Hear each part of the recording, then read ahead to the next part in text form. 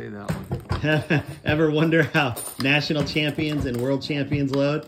I got two of them right here. Todd Hendricks, Southwest champion, national champion, and world champion. What you doing? This is how you get there, John. Yeah, Make everyone perfect. everyone perfect. I notice you've got your die taped down. Ain't nobody moving your setting, huh? Yeah, that's a safety precaution, a little bit of insurance. They will back out.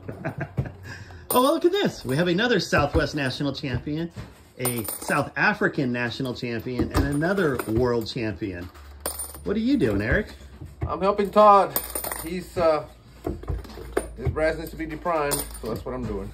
Some Lapua 284 brass. A little bit of brass pour in there. Yeah.